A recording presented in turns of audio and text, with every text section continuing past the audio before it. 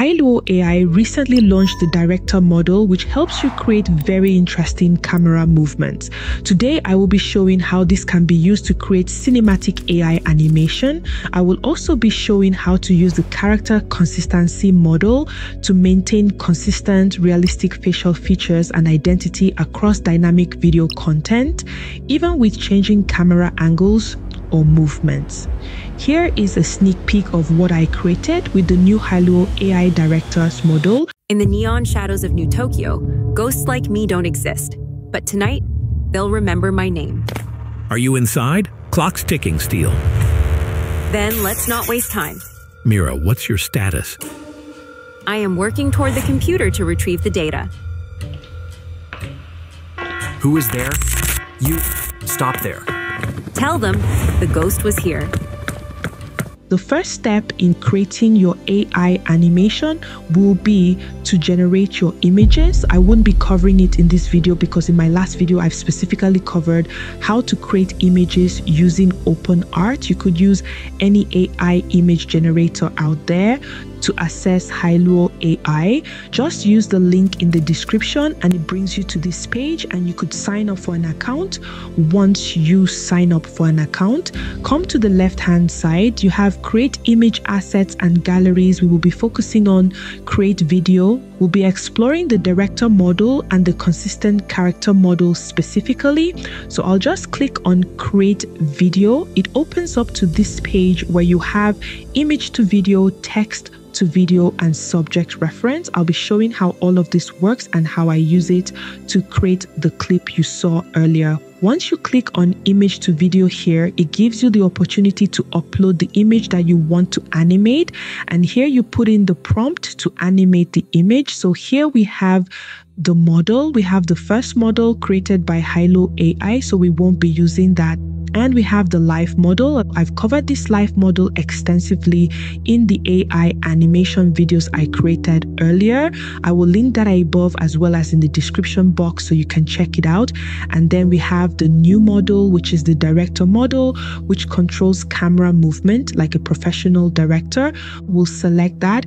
To use this, we're just going to upload an image. Click on image history and it opens up the images. I'm just going to click on this and then in terms of the prompts, I'm just going to say the lady is running away and planes are chasing after her.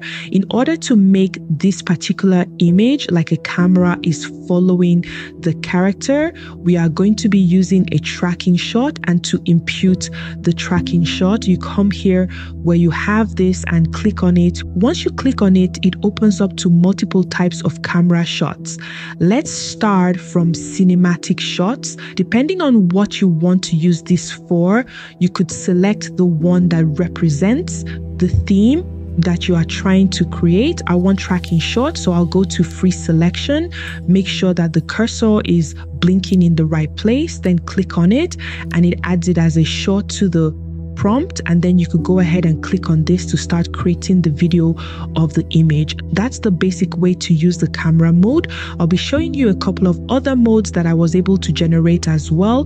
The image is done animating and you can see how fluid it looks like. This looks okay to me but it feels like she's just standing on a spot. I wanted her to be running.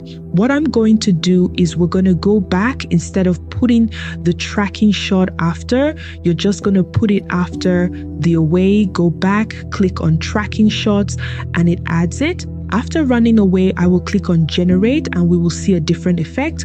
While this is generating, there's a particular scene that I wanted to animate, a scene where the camera pulls in towards the lady, where the lady is stunning and looking towards the street where we have the cars passing. Here we have the lady looking back at us, but what the lady turning and looking at the road where the cars are speeding and we want it pulling in and then tilting downward. So We are seeing what's happening on the road and then click on generate. Another video that I wanted wanted to create is the lady walking, and I wanted her walking towards the side to be able to walk on the computer. Here we see that the lady is walking into a high tech room, and I describe what the room is about and what she'll be doing.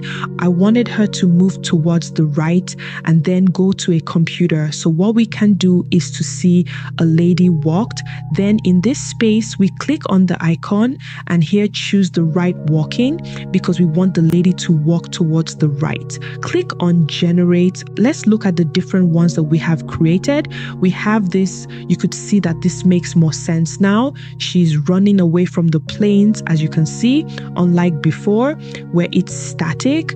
So the location of where you place the camera movement determines what the character is going to do. As you can see, this looks better than the first one, so you'd pay attention to that. So while these images are being animated, let's just go ahead and show you other options that you can use. The next is text to video. What if you want to create, for example, like a skyline of Tokyo in an animation style with some camera movement? So we can type Tokyo skyline. And then in terms of the camera movement, let's just do the right circle. This is an interesting shot. And then we would go ahead and click on generate. This is where the lady is walking. You could see how she moved towards the right to a computer and she is looking at it. This is a very good example of how to use a combination of camera shots to create a moment in your animation. This is done. Let's see how it looks. You could see it pulls in and then pans down while she's looking downwards. This looks way better. This is to show that you could generate the video a couple of times to give you what you are looking for. This looks good. This is the one I created with the skyline of Tokyo, and you can see how this looks really good. So, depending on the scene that you are trying to create, you could use this to show some form of emphasis or intensity. This is how the text to video looks like with camera movement. The last thing that I will talk about would be the subject reference. The subject reference helps to keep the character consistent in terms of facial features, and if you want to also maintain maintain the character's dressing of the original image, you need to mention what the clothes look like. Otherwise, it's going to change the clothes to something else. Okay, so to do that, you click on add character and then you choose the character that you want to add. It's going to add it to this box and then you can add what you want the character to do. For example, we could say the lady is dancing. Let's see what is going to do. Click on generate. While this is generating, there's something here that I need to show you, which is called effects. Once you click on this effect button, it gives you different options. So there are a couple of options here, depending on what you want to use it for.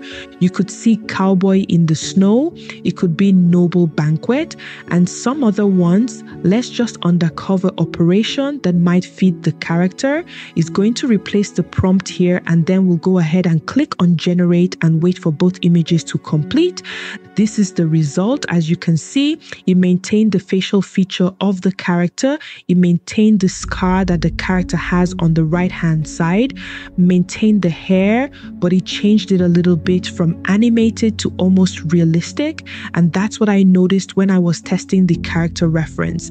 It maintains the facial expression, but you might need to tweak the prompts to make sure it maintains the clothing of the character. But in terms of the facials, it maintains the same same thing, just that the character has like blue eyes, which, like I said, you would have to put specifically within the prompt to make sure that is captured. In terms of the effects, you could see that the scar on the face is gone and it makes it a bit realistic. It has similar features, but not entirely.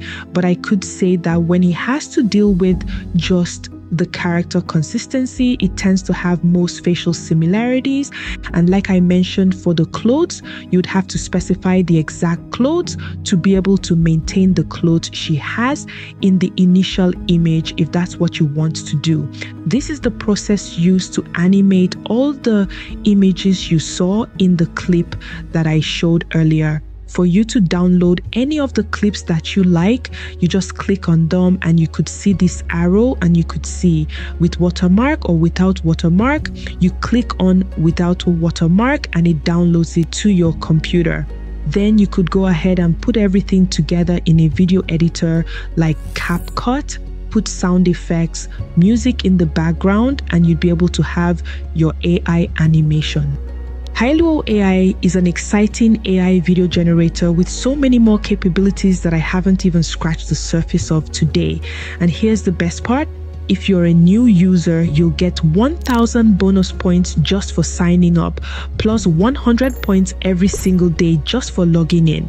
That's free credit you can start using right away to test out all its powerful features. If you want to see how to use the live model I mentioned earlier to create insane AI animations, click on this video and I will see you there.